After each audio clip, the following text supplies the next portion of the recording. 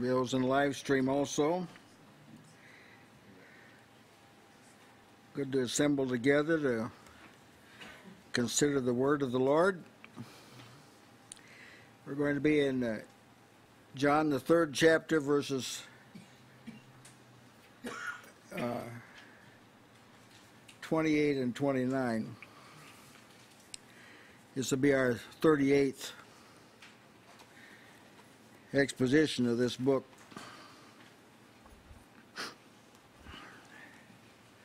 Now we'll find tonight uh, that John the Baptist not only introduced Jesus or prepared the way, but he he taught people, made known to them how to think about Jesus.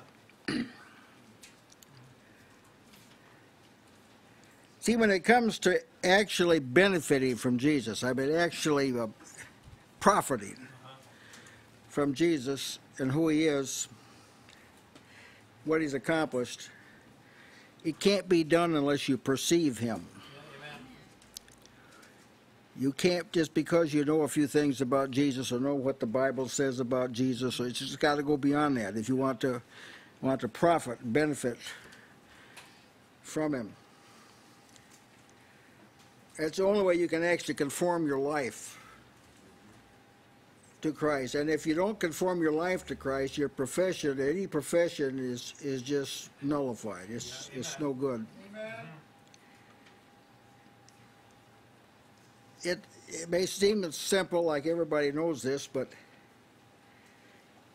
the number of professing Christians that are living just as though Jesus is not what God said he was and is, is absolutely staggering.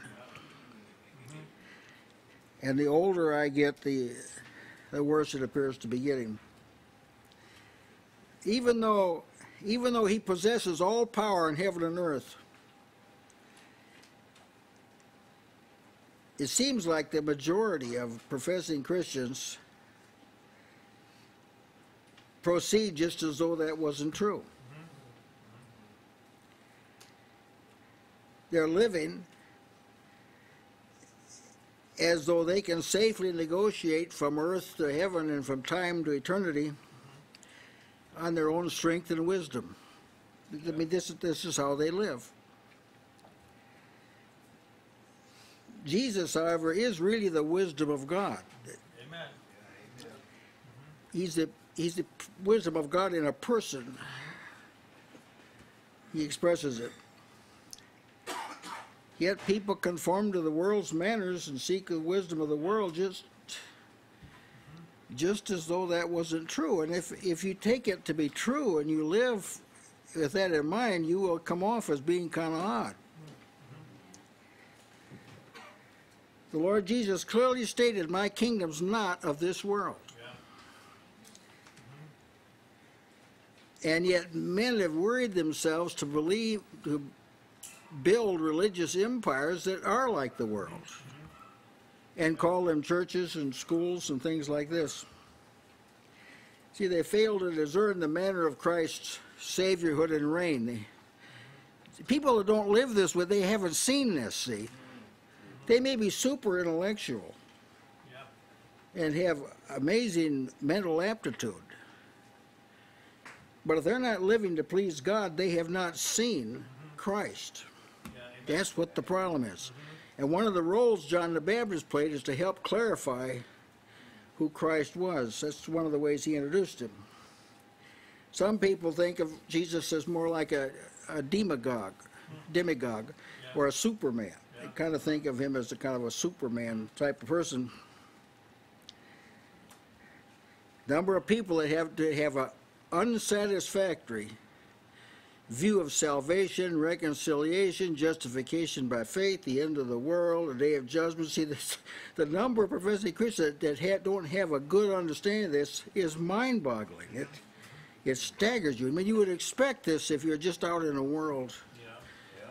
But you confront this in the churches. It, this is confronted, and it's very, very alarming. It's particularly unjustified because God has given the Gentile church a special apostle. Mm -hmm. yeah. He is called the appointed, he is said to be appointed a preacher and an apostle and a teacher of the Gentiles. And he is expert in all these areas. He is expert. So it isn't that enough hasn't been revealed. See, people can't say, I can't understand the Bible. These people are lying. They do understand it enough to not want it. Mm-hmm. Yeah. So it's a, it's a lot, this is going to be brought up on the day of judgment. I know this is going to be brought up on the day of judgment. The generation that had the advantage of the teachings of Paul mm-hmm. and didn't take advantage of it, there's got to be an extended period of time during the day of judgment when that's dealt with. Because that is, that is serious. If God gave Moses and people didn't hear Moses, it was not overlooked by God. Yeah. If God sent a prophet to Israel and the prophet didn't pay attention, people didn't pay attention to that prophet, it was not years later God would bring that up. So you can imagine after the phenomenal amount of truth that was revealed to Paul in order that he might pass it on. It just, it just wasn't given to him so he'd know it. That's right. He was a steward of it. He was a good steward. He, he, got more than anybody else, and he labored more than anybody else. See, it made perfect sense. Now we're going to, John's going to tell us some things about Christ that certainly impact upon life. This is John 3, verse 28 and 29. Ye, ye yourselves bear me witness that I said, I am not the Christ, but I, that I am sent before him. He that hath the bride is the bridegroom.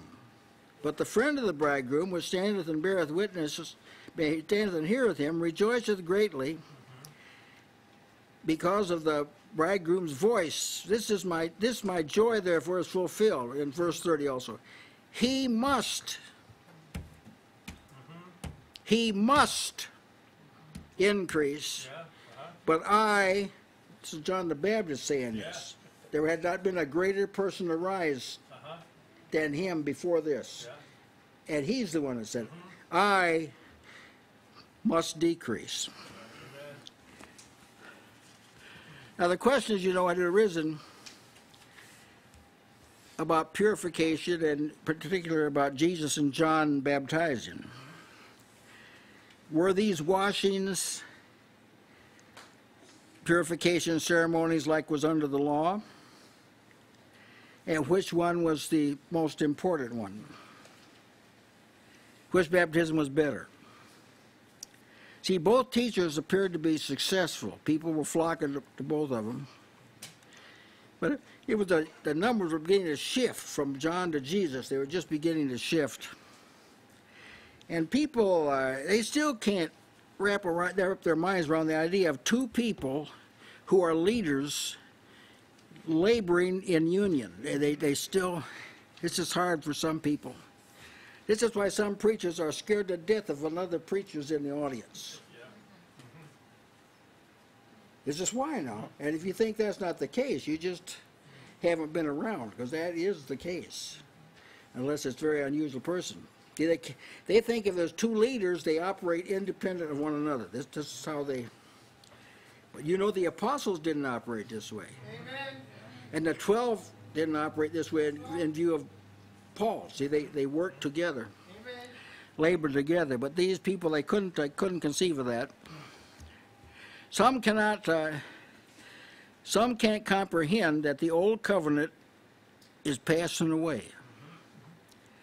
They insist on teaching people, insist on thinking that the promises that were given under the old covenant transfer over to the new covenant. That the Deuteronomy 28, blessed in the field, blessed in the city, blessed in your seed time, blessed in your harvest time, you'll lend and not borrow. And see, they think, they, they teach this now ag- aggressively. And the majority of Christendom is bought into this, particularly the majority of non Catholic Christendom has bought into this, mm-hmm. that this is true, but it's, this is not true. Mm-hmm. See, they have, they've had trouble, they have trouble that something is prominent as the law and its ceremonies, which was in place for a millennia and a half, that it could pass away. See, they can't, they can't reconcile themselves to that. They can't see the uniqueness of the new covenant. This is why God's so great salvation is neglected. See, the scriptures pose this question. It's a, it's a, the and it's a rhetorical question. There, there is no satisfactory answer to it. How shall we escape if we neglect so great salvation? Mm-hmm. All right, why do people who profess to be in Christ neglect that salvation? It's because they don't see its uniqueness. Yeah, right. They can't see that it mm-hmm. supersedes Amen. the covenant of the Ten Commandments or the prop ministry of the prophets, Moses and the prophets. They can't see its superiority. That's why they neglect it. They think of salvation as just straightening out your life here and now. See? They think that what Jesus is really doing is teaching people how to live, but that is emphatically not so. That's right. Yes. The reason that they're teaching people how to live here is because they have not grasped that they're really not Yeah. going to get to heaven by their own works. That's right. Amen. They're, they're striving to get to a place to where their conscience doesn't smite them so much that they have hope that maybe they'll go ahead and get in. They'll Yeah. be good enough to get in now.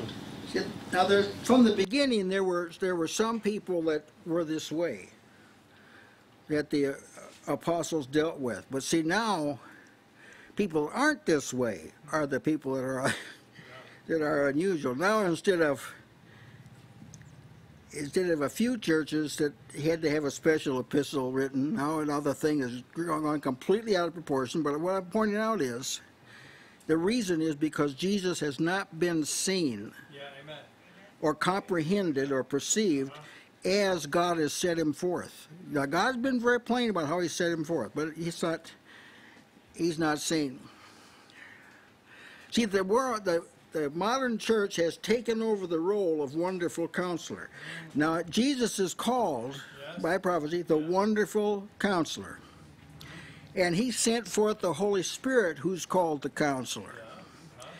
See, much of the modern church has taken counseling upon itself. Uh-huh, yes. It's determined to major in this role of counseling or teaching people how to live. hmm? And it's made that its major Yeah, yeah. instead of proclaiming Christ. And this is a serious blunder. Amen. This has altered what's called the church. It's altered the whole thing. Is this in any way, I mean, do you see any, any parallels between what's happening in, in the case that you're talking about? The, and what happened in, in the uh, Roman Catholic Church where the Oh, yeah. church is becoming, Oh, yes. they're, they're like in the place of God, but they won't say it that way. Yeah. But, Yeah. but they're setting themselves up kind of in the place of God. See, this is what, what happened is Constantine popularized Christianity. It became the religion of the Roman Empire, which was the beginning of Christianity's Yeah, demise. And he didn't do it because he, he actually believed in Christ and respected Christianity. He did it because the Roman Empire was in a state of decline and he felt this was the way to get things, Uh-huh. to get the USA going right again. Eh, So he, this is still, this kind of mentality is still around. Yeah, yeah. There's still people that want Christ, they want to emphasize Christ so the country can get back on its feet again. Uh-huh, That's exactly what Constantine did. yeah, yeah. And when that happened, that made it easy for institutionalism to enter the, and that, and that, that was the death knell. yeah. They institutionalized, in other words, the church ceased to be a living entity. And now this thing has happened on another, it's actually on a deeper level. It's happened and, and picked up the pace so that the life has been extracted from what we call religion. Religion is the expression, the outward expression of, per- of persuasion. And so that's, uh, yes, it is a very closely paralleled. Now, John the Baptist, he said, Now, I, I made clear to you that I'm not the Christ. You, you, we should not be having this discussion. I made this clear. I told you that he's mightier than me. Remember, he said he is mightier. Yeah. I told you that I'm not worthy to loose the shoe latchet on his foot.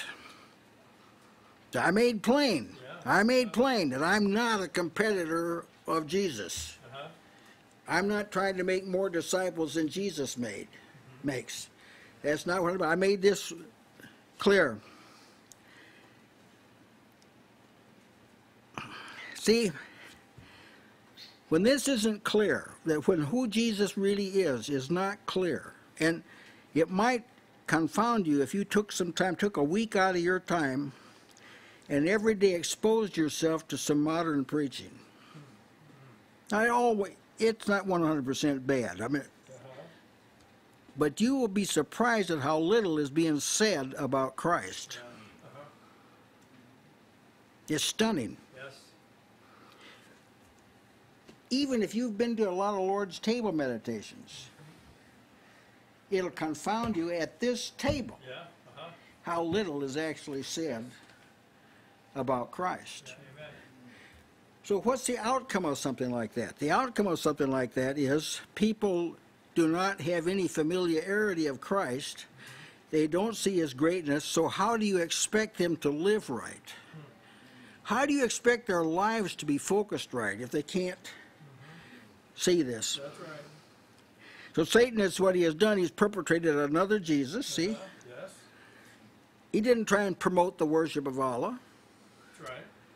or Baal or some other god, or the sun god of Japan. He he didn't. He just invented a new Jesus. That you can still use the Bible and talk about that other Jesus, another gospel, another spirit. And when that when that happened, that allowed for mediocrity to Yeah. come in. See, false teachers then could come in unawares. Yeah. Because Jesus, the, the truth of Jesus is like a guard and a gate. Amen. that stops the infiltration of other things. But if he's obscure, if if who Jesus is, as God has proclaimed, if who he is is obscure, then the, the door's open for charlatans to come in, false teachers, and things of this sort. I told you, I told you, Johnson, I told you. I told you that, that he was going to purge the, his floor. Uh-huh. Yeah. It's his floor. He's going to completely purge it, gather his wheat into the barn, and burn up the fire with chaff unquenched. I told you who was going to do that. You, there should be no question about who's prominent. Mm-hmm. There should be no question about who's prominent. Yeah. Nobody in the United States should have any question about who is superior Yeah. Amen.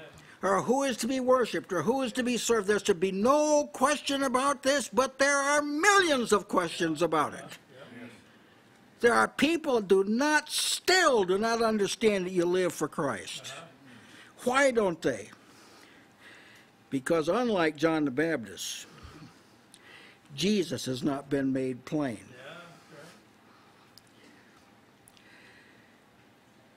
Those who heard and believed what John said started following Jesus as soon as they could. Remember the two that were there were two, two, two of them were talking with John. They were talking, walking together.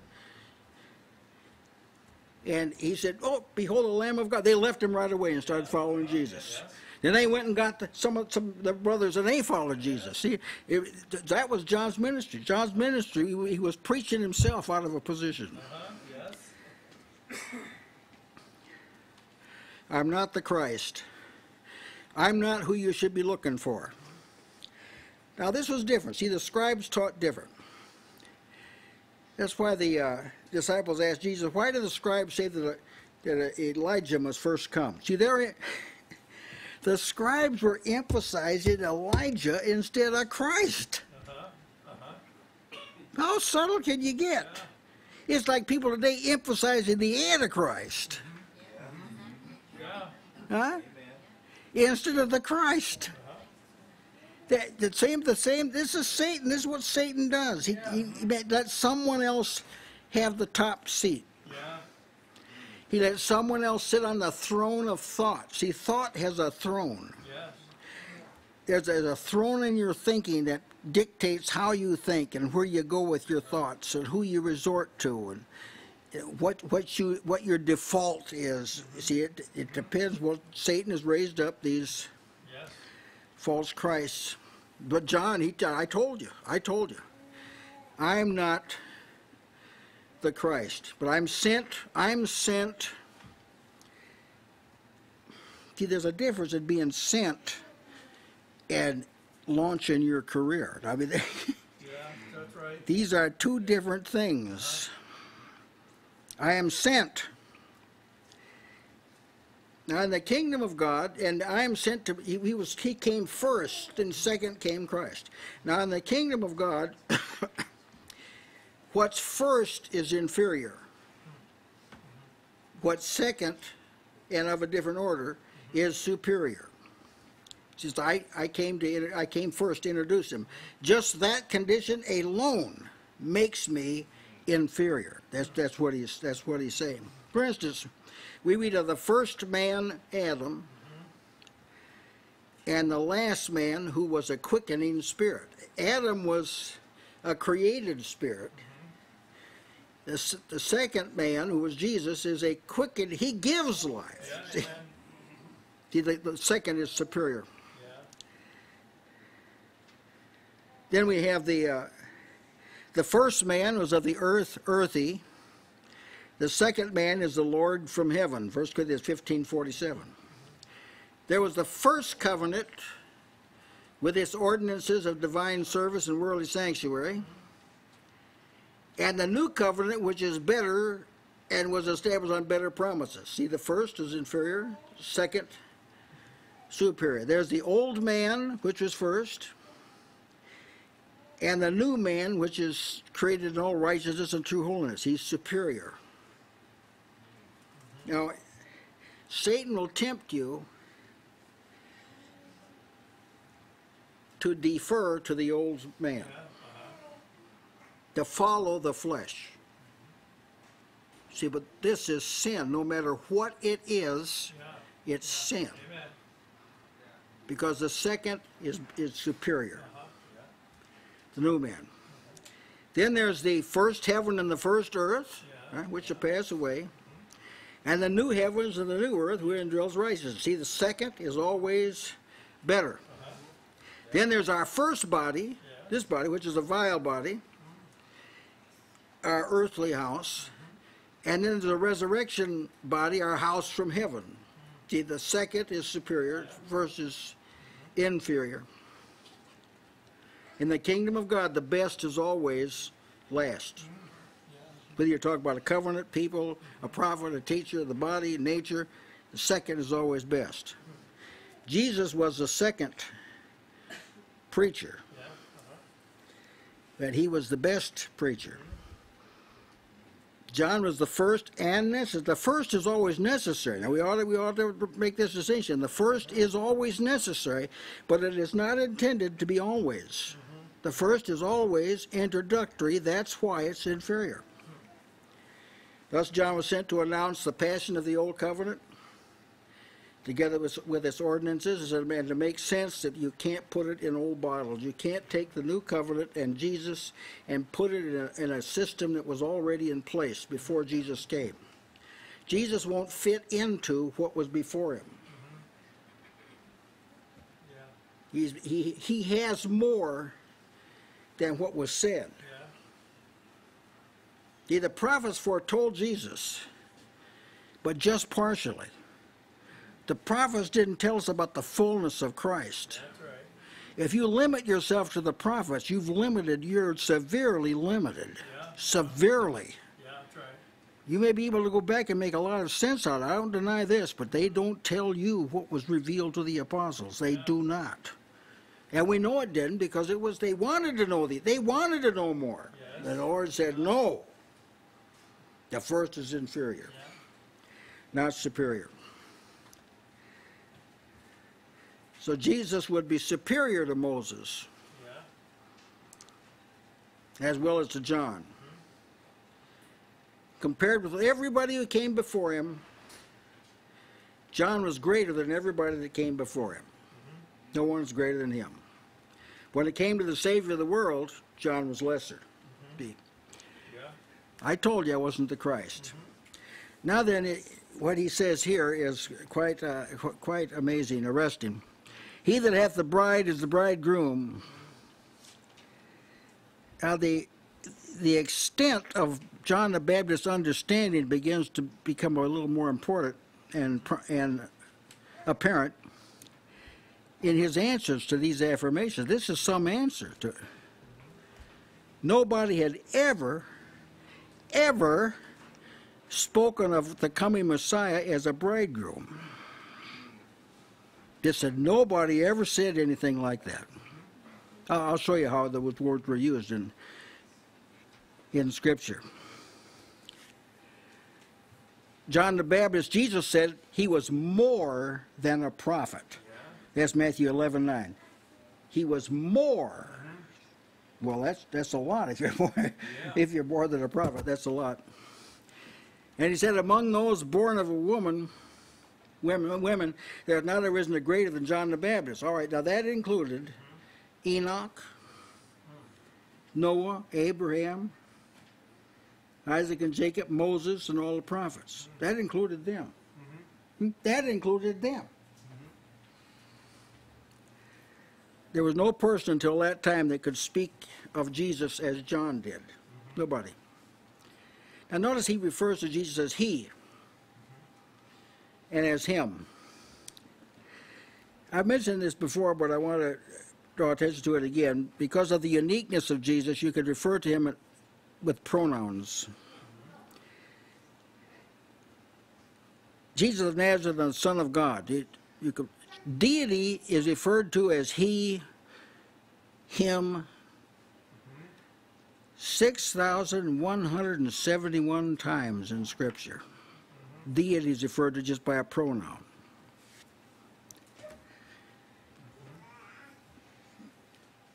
When speaking of Jesus, there are 170, there are 4,256 pronouns.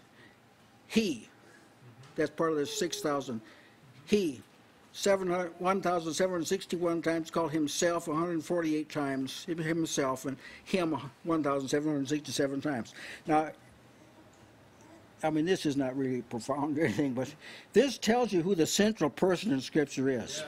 When you talk about the central person, you can say him, you know, himself. You, you can use pro- he. You can use pronouns like that. But when you're talking about someone just mentioned once in a while, you did, you, you had to mention their name. So this shows us that there's central. He's deity is central in Scripture. Amen. Human life is not central in Scripture. It's in there and it's important, but it's not central. And to live acceptably, you've got to get hold of what's central. Yeah. You've got to get hold of the the temple's going to fall down if those two pillars don't hold it up that Solomon built. Amen. And There's a lot of people trying to live in a temple that doesn't have any pillars. Nothing holding it up, nothing of substance. He that hath the bride, this is John the Baptist now. Paul mentioned this, nobody else mentioned Jesus as a bridegroom and his people as a bride. No, nobody else. Here's John the Baptist. He that hath the bride is the bridegroom. Now, in prophetic language, as I understand it, the Messiah is never clearly referred to as the bridegroom. In God's identity with Israel, God frequently likened himself to a bridegroom, and Israel is his bride. I give you the text that he did that. God did that to Israel, and that's how he charged him with harlotry. Yeah, that's right. Yeah. That's why, see. In the 61st chapter of Isaiah, which is a messianic text, converted Israel and ultimately the church is depicted as both a bridegroom and a bride. It's, it's called both bride and bridegroom. It's gloriously attired. The prophets also spoke of the togetherness of a bridegroom and a bride without regard to particular persons. They just spoke of the closeness that exists between a bride and a bridegroom. And there's allusions to Jesus, to the Lord's associations with Israel in using this kind of language. Thy maker is thy husband. Isaiah 54 5. In that thou buildest thine eminent place in the head of every way, and makest high thine high place in every street, and hast not even been not been as a harlot, in that thou scornest hire, but as a wife that committeth adultery, which taketh strangers instead of her husband. so he he explained Israel's defection in the terms of an unfaithful wife. Now, this is how the prophets taught. See, they didn't. God talked about his association with Israel as, as a husband to a to an adulterous wife. That's how that. This is how you were schooled to think under the prophets. Now, all of a sudden, here comes John the Baptist, and he uses bride and bridegroom in in a commendable way. Both. This is new kind of talk now. Yeah. New kind of talk. Under the old covenant, the relationship was profaned of wife to husband, Israel to her husband. Therefore, the depiction of a bride and bridegroom are rarely set forth as being honored by Israel. Now, John, he elevates the figure by focusing on Jesus as the bridegroom. You see how much Holy Spirit this man had to make that connection? The bridegroom. Now, it's true, Jesus did come into the world to save sinners. That's a faithful Savior and worthy of all acceptation. Christ Jesus came into the world to save sinners. There's no question, no question about this, but there is a higher purpose. He came into the world to get a bride. Amen. Now you tell me which one is more lofty. Hmm? You tell me which one's going to continue. Sometimes people forget that. That Jesus saves sinners so they could belong to him. Amen. That's why. His father gave him a bride, and he's gathering the bride. He's gathering the bride for himself. The bride, he that hath the bride, is the bridegroom, not an institution, hmm? not a famous leader. Church doesn't belong to anybody else. It's wrong to have other people's names on it. St. Paul's Church, St. John's Church. There's all kind of stuff like this. You won't drive very far, you'll find a church named after some apostle. And they're not all Catholic either. I might add. Church belongs to Christ. Amen. Amen. You say, well, they don't mean anything, but no, I insist that's not so.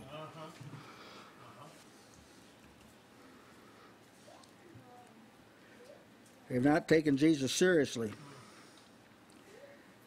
He came and is presently ministering to obtain a bride. That's what Jesus is doing now. He's a high priest. He's perfecting. He's perfecting the bride. He's giving the bride what she needs to wash her garments and prepare for the wedding. The bride hath made herself ready.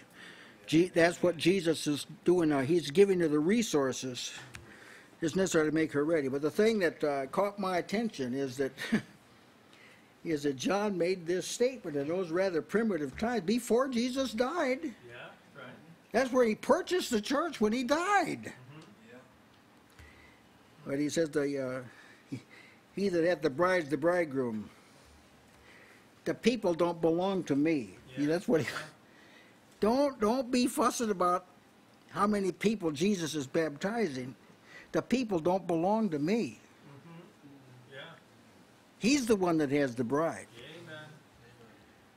Now, if you learn to, you sometimes you can just repeat this, mm-hmm. and it'll it'll simplify some s- dilemma. Mm. Now, he that has the bride is the bridegroom. Now, the, the church belongs to him. Yeah, amen. And just mold your thinking around that, and it'll deliver you from some, some circumstances.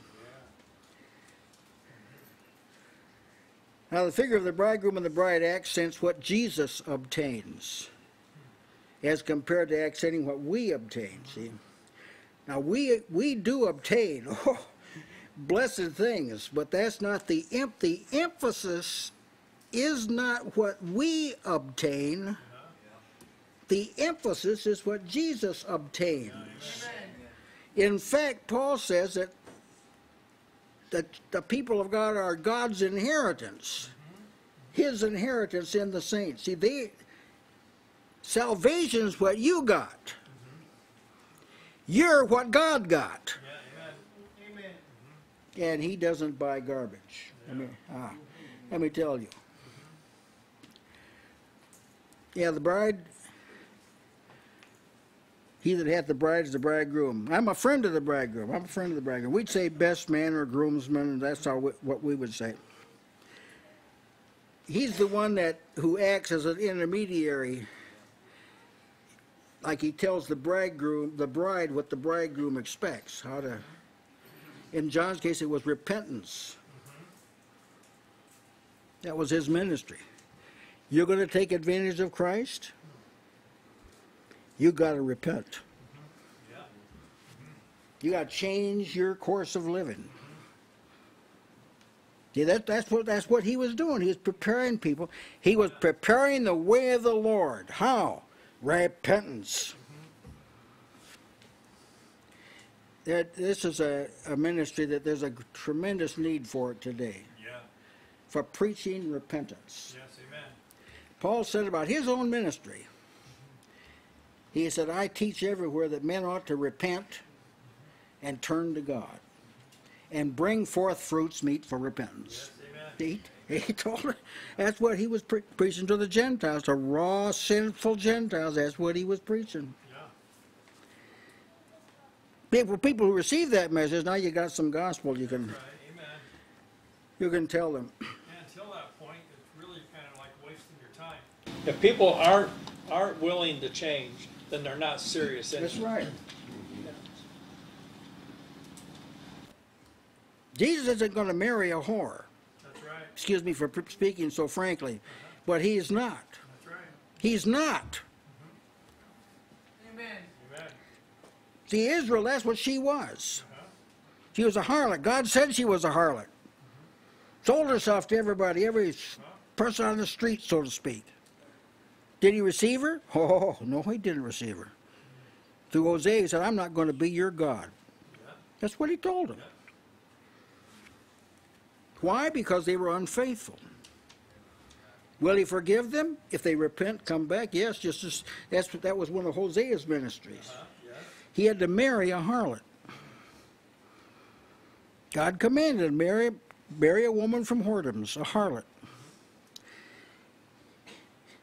And and then she she went away, you know, became you buy her back. Why'd you do that? It was as though he said, Then you'll know how I feel, Hosea. Yeah.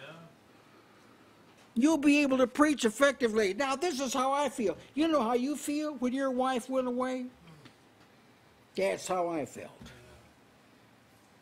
God was not indifferent about it. God is not a big brain, you know, Yeah. with, Uh-huh. with no feelings. He that hath the bride's bridegroom. Now, the difference between the new covenant and the old covenant, salvation secures a way whereby harlotry does not have to happen at all. You have to neglect salvation to be unfaithful. Yes.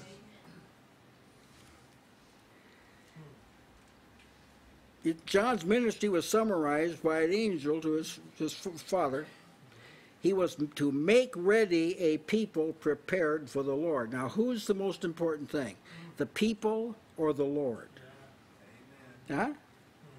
To make ready, not to make ready a Lord for the people, but to make ready a people for the Lord. That's what John the Baptist is doing.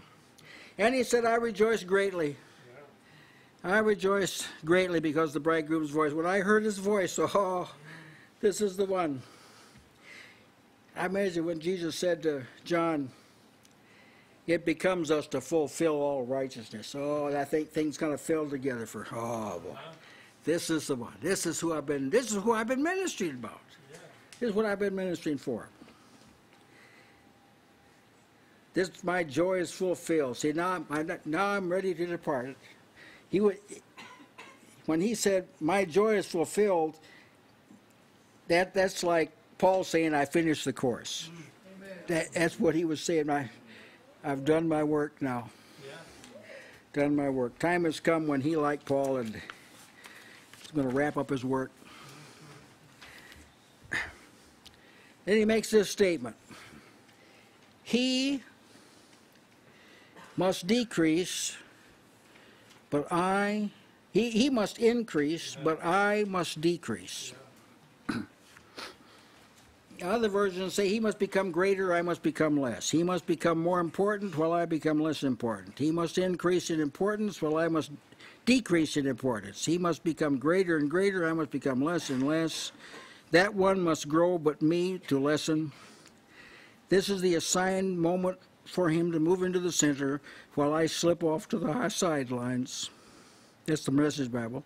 He must grow more prominent, I must grow less so. John saw it. Yeah. He wasn't repeat. This, we have no record that God told him, this is what you say. This is what you say, John.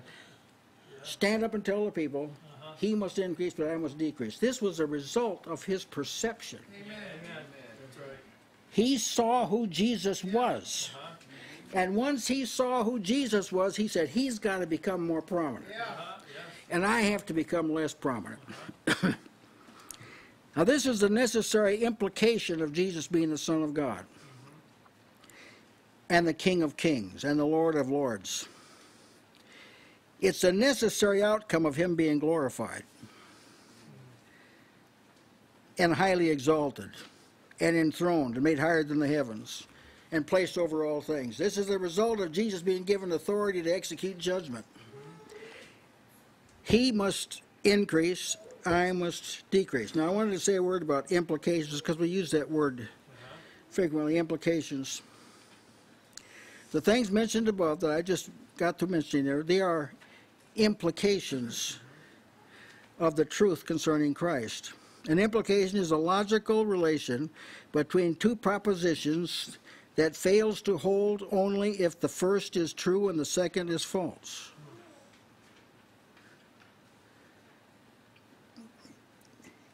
You can ignore he must increase and I must decrease. You can ignore Jesus being the Christ if if those don't happen. If one of those don't happen, then Jesus is not the Son of God. You really, really got to see this. it's a logical relationship between two propositions in which, in which if the first is true, the second is true. All right. Now, the in the above statement, he must decrease, but I must. He must increase, but I must decrease.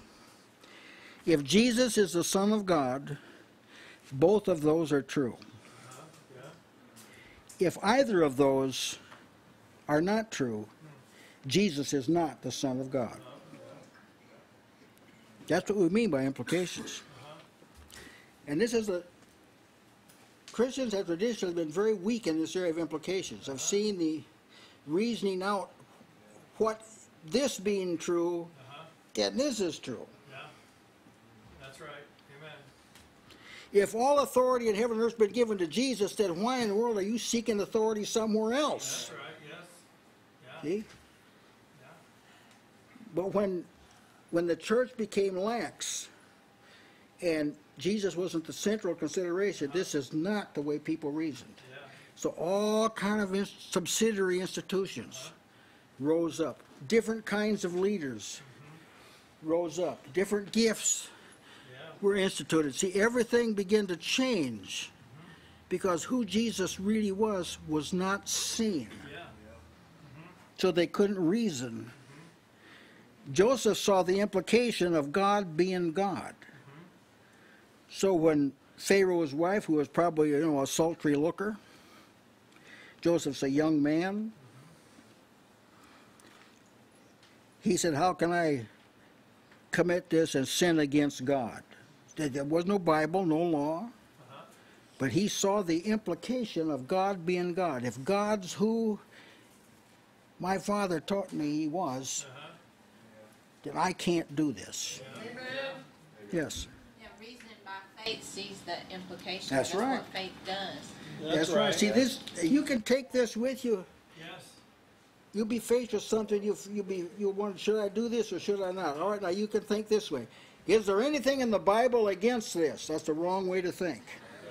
That is the wrong way to think. Now, there are some sins, there are plenty in the Bible against them.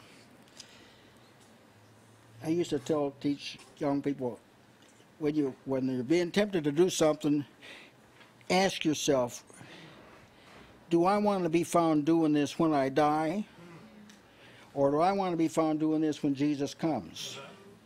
You will always have a right answer. yeah, amen, yes, uh-huh, That's implications. yeah, right, If I'm going to die and face God, that, and I believe that, this changes the way I think about sin, the way I think about temptation. yeah. And you could say, if I'm not overcoming, then I don't have any faith. And, but see, that, that greatly uh, helps you be able to reason the thing out. That's right. Because uh, instead of making excuses, well, I'm not overcoming because of some external Yeah. force. No, it's because you're not, you don't have faith. Yeah, I will go, go even further. A person who doesn't have faith will not know whether, he, he won't even know what it means to overcome. So he won't think in terms of I'm, I'm not overcoming. He's, he'll think in terms of I'm only human. Uh-huh, yeah, that's right. After all, we're only human. They don't even think. Don't even think that way. But faith does always overcome the world. Amen, that's right, It's the victory. that's right, Faith is the victory amen, that overcomes the world. So you've got to feed people's faith. You've got to build them up on the faith. See, that's what edification is. People's faith has to be strong. They don't need a lecture on behavioral methods. They don't. That's not what they need. amen, They don't need a helper to help come alongside of them, make sure they're not tempted. And if they are, they'll do the right. They don't. That's not what they need. that's right. Amen, Implications. As I mentioned, this has been throughout history. Has been a very weak, weak area. It's the reason for all apostolic correction. All apostolic correction was because the implications of the gospel weren't seen.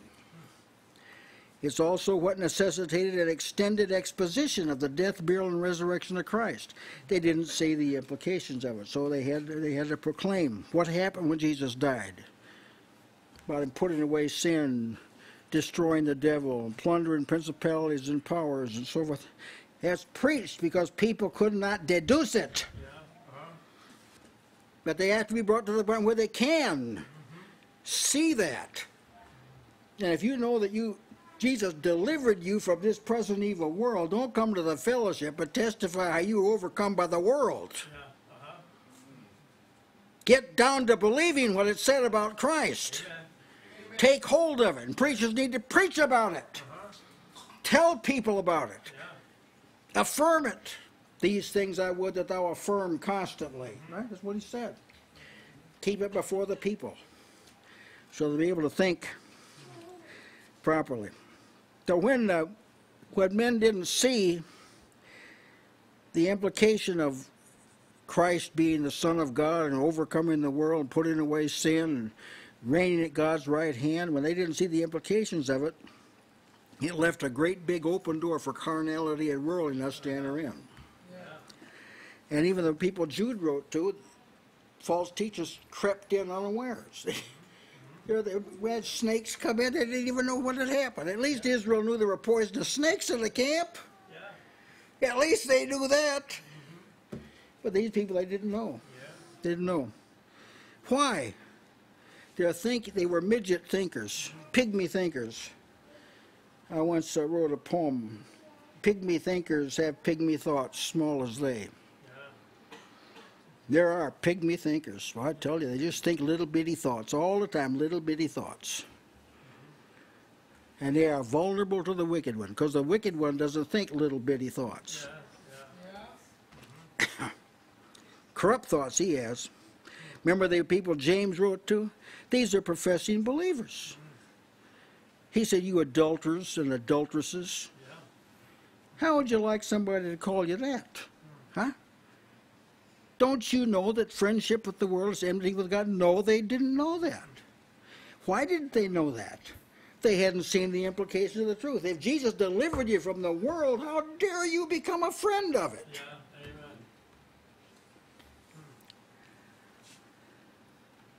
The Galatians, they removed themselves from God. I marvel, you are so soon removed from him that called you into the grace of Christ. Why did they remove? Another gospel came along that wasn't really a gospel, and they forgot the gospel of Christ, and they didn't see the implications or necessary conclusions that you arrive at when you believe the gospel. Perceiving the implications of the gospel, that's synonymous with comprehending what is the breadth and length and height and depth and know the love of Christ that passes all knowledge. See, that's that's what that's talking Yeah. about. Perceiving the link. See, some people only see the surface. That's all they see, just just the, just the surface. And if it's a big body of water, even the surface is quite impressive. Uh-huh. Like the men standing on the shore and they see a big body of water for the first time, and one man said, "Look at all that water." The other fellow said, "To think it's only the top." You'd be surprised how many people have only seen the top. They've never seen, and those kind of people are never motivated properly. They're always stumbling and bungling life and making mistakes, and that's why because they can't see thoroughly or far enough. He must, he must increase. I must decrease. See, all what I just said is summarized in those words. He must, he must increase. I was decreased. If Jesus is small in our thinking, then we'll be large in our own estimation. yeah, that's right. That's what happens. Then you'll think too much of yourself. Some people say, well, I suffer from low self esteem. Well, I don't believe that. I don't know of anyone that really truly suffers from low self esteem. In fact, you're supposed to, you are to esteem yourself less Yeah, yeah, than others. amen. I think a better way to say it is I don't have any confidence in God. I think that's be, be a better way to say it. I don't believe in Jesus, so I think I'm on my own and I'm not really up to it, which they are. That's, I think that's what would be a better way to say it. He must increase, I must decrease. In their own estimation, as compared with Jesus, they say, I've got, I've got to take the capital letters out of this, my name. I, I've got to, I got to quit thinking about myself so much. Yeah, Think more about the Lord. Paul expressed this attitude doctrinally. Now, he's, he spelled it out, what it means for Jesus to increase and me to decrease. Here it is spelled out in, in doctrinal words. I count all things but loss for the excellency of the knowledge of Christ Jesus my Lord. All right, that's Jesus increasing, him decreasing. For whom I've suffered the loss of all things and count them but dung. See, I'm decreasing. That I may win Christ, he's increasing and be found in him, he's increasing, not having my own righteousness, which is of the law, I'm decreasing. But that which is through the faith of Christ, faith of Christ means faith that comes from Christ. The righteousness which is of God by faith, he's increased. That I may know him and the power of his resurrection, the fellowship of his sufferings, eh, Christ is increased. Being made conformable to his death, I'm decreasing. If by any means I might attain to the resurrection of the dead, he's increasing. This one thing I do, forgetting the things that are behind, and I'm decreasing, reaching forth unto the things which are before, he's increasing. I press toward the mark for the prize of the high calling of God in Christ Jesus. He's increasing. So that that's it's spelled out doctrinally what it means. See, it's one thing to say the words, he must increase, I must decrease, but it's important that people know what that means. Amen. So here's a man moved by the Holy Spirit who, who spelled it out. He told us what it means for Jesus to mean more. Yeah, Jesus spelled it out when he said, Now you got, if you hate, if you don't hate your mother, father, brother, sister, and even your own life, you can't be my disciple. See, that's you decreasing, him increasing, see? If you don't forsake all, if you say don't forsake all, you can't be my disciple. That's you decreasing, him increasing. So it's, it's all through. Yeah. It's all through Scripture. Crucifying the flesh. What is it? It's you decreasing. Yeah. Putting on Christ. What's that? It's Christ increasing. See, so all through Scripture. That's it's marvelous to actually do. Yeah. To consider it. Run the race with patience that's set before you. That's Jesus increasing. Love not the world. You you did decreasing. See. Why was Paul so aggressive? I labored more abundantly than they all. Why? Because he saw more. He saw more because he was given more. See? It was like John the Baptist because he saw the implications of Jesus being the Son of God. He had no compunctions about saying, "I've got to, I've got to decrease now. I've got to become less popular. Yeah. Fewer people have got to come out now to hear me." This is what this means. Yeah. Right. I'm reconciled to this. Uh, my ministry is drawing to a close. Christ's ministry is coming on. It's increasing. The rarity of this perspective in our time is the reason for carnality and worldliness in the church. All division is traced back to this. All false teaching is traced back to this. See, modern Christianity has relegated to the has been relegated to the basement of theory. When you deal always with theories of what might be, what could be, what ought to be, this is what I think, you're down in the basement. That's where you're down in the basement. Less light. As long as that condition exists, Jesus is being decreased. in the minds of men. Now, notice how succinctly John stated this. He must. Yeah. Yeah. He didn't say, no, he should. Mm-hmm. He must decrease, and you've got to try. He must increase. He didn't. and he didn't say you should try to decrease. You must. Yes. Amen. You don't have a choice in this matter. You've got to adapt to what he said. Yeah. You have got to decrease. You've got to think less of yourself and more of Christ. Yeah. Now, people can take that the wrong way, I know, but that is what the scripture said. If you think in those terms, God will guide you so you'll Amen. Yeah. you won't go out and be run over a train to make sure that you're less that you're decrease, so to speak. Now, some of the versions would say he he must increase, I must decrease. Some of the versions say uh, he has to increase, I have to decrease, Where it behooveth him to decrease, or it's expedient for him to increase and me to decrease, or it's necessary for him to increase and me to decrease. See, I don't like that, that toned down language. I, I don't I don't like that. Uh, I wouldn't condemn anyone that uses it, but I, I just I like it strong the way he says it must.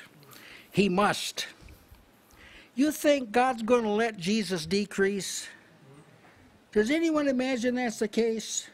That Jesus is going to sit at the right hand of God. He's going to become less powerful, less influential, less directive. You think that's going to happen? He's on the increase now. Yeah. Amen.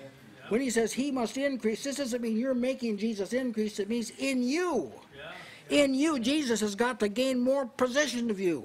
Yes. You can't let him have 10% of the land. Uh-huh. See, the, the Israelites had to drive all the Canaanites out. They never did get it done. And so they had all kind of all kind of trouble. So Jesus is not going to decrease. He may be perceived as losing importance, but he's not. In heaven, he's increasing, increasing, increasing. And when you get on the train, that's what'll happen in you. He'll he'll have more of you. Tomorrow he'll have more of you. He'll be more prominent in your thinking. You'll make more decisions because of him. You'll assess situations with him in mind, rather than your career in mind, or with the weather in mind, or what.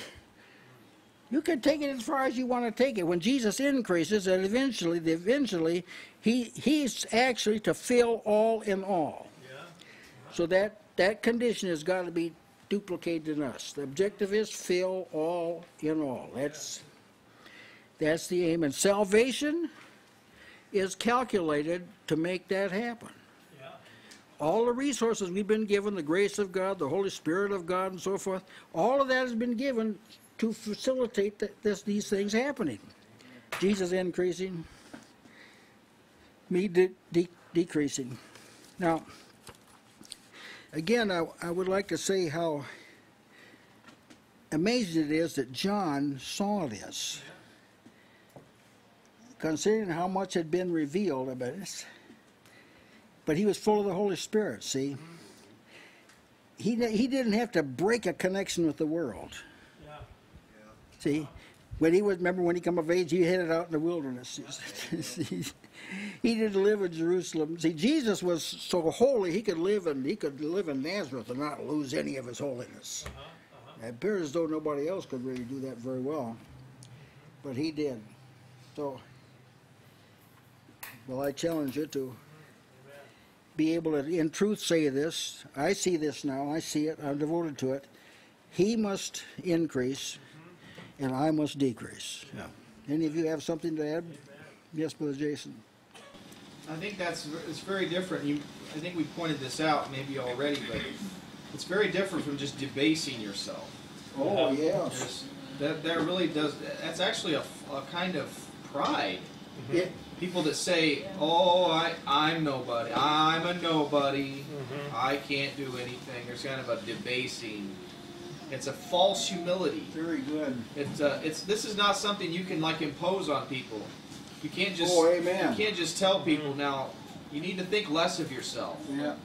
And that that doesn't help. It, the only way this the only way this will work is if is if Christ becomes first. Amen. And if Christ become really does become first, then you will you really will become last. But until that Yeah. point, you'll have a hmm. hard time managing yourself. Oh, amen. Yeah. I think this is this is what is meant by voluntary humility. Yeah, This is you're talking about. Is it self-flagellation and deprecating yourself and it's a voluntary it's not the humility that god talks about humble yourselves under humble yourselves not under self-examination humble yourselves under the mighty hand of god see quite a bit of difference yes What What Brother Jason was talking about, you can't really even, uh, Jesus can't increase in you unless you really perceive him for who he is. that's right I You're mean, if you don't right. see Jesus, but when you do, and and when- when you see him for who he is, he can't help but increase, and you decrease. That's right. See, he said that if we if we k- heard his words and kept his words, he would make himself known to us. Remember there in John 14? That's what he was talking. That's how he increases. See, yeah. others tonight.